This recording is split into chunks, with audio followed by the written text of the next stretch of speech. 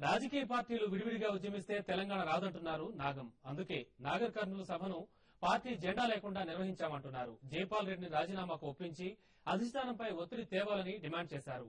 తెలంగాణపై ప్రకటనకు ఏదో ఒక తేదీ నిర్ణయించాలని అప్పటికి కేంద్రం దిగి రాకుంటే మూకుముడిగా రాజీనామాలు చేద్దామని ఆయన పిలుపునిచ్చారు.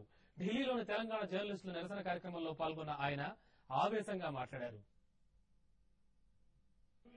నేను తెలుగుదేశంలో ఉండి మా క్యాడర్ను అంటే సమాయత్తం చేసుకుని ఉద్యమం అంటే ఉద్యమం చేయాల్సిన బాధ్యత ఉంది. మా కా- మా క్యాడర్ కూడా ధైర్యం ఇవ్వాల్సిన అవసరం ఉంది. ప్రతి ఒక్క తెలుగుదేశం పార్టీ కార్యకర్త తెలంగాణ రావాలనే కోరుకుంటున్నారు. ఉద్యమించాలనే కోరుకుంటున్నారు. వాళ్ళకు అండగా నిలిచాలనే నా ఉద్దేశం కానీ నాకు దీంట్లో స్వార్థం లేదు. ఇంకొకటి నాకేం స్వార్థం అండి దీంట్లో? ఆల్రెడీ ఫోరం కన్వీనర్గానే పనిచేసిన. ఇవాళ నేనేం పదవుల కోసం లేను. దానికోసం ఇవాళ స్పష్టత లేదు గ్రూపులు అవుతున్నాయనే విడిపోయినా. ఇలా దాని దగ్గర వద్దాయని ఆయన అని రాజీనామా చేసి అందరు ఎవరి నాయకత్వం కింద కూడా పనిచేస్తా అని చెప్పిన.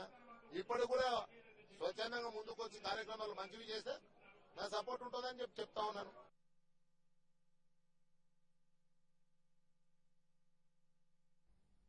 ఇదిలా ఉంటే తూర్పు